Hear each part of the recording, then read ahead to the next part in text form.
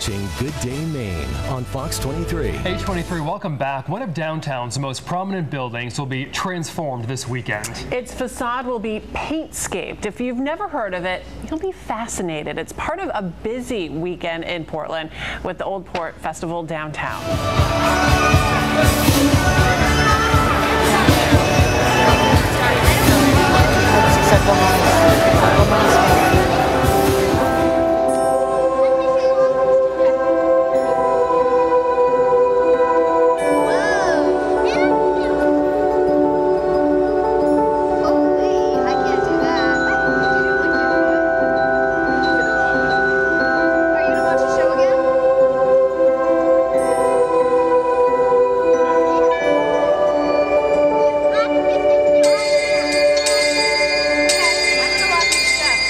Brilliant.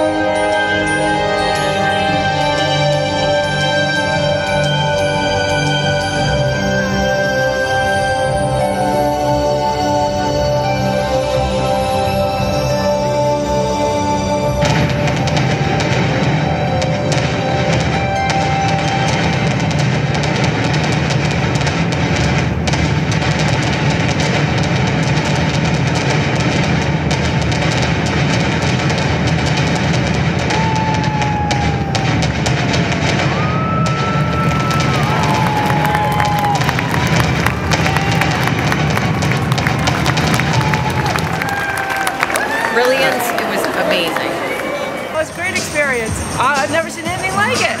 I think it was incredible. I think it's the kind of thing that you would see at Disney World.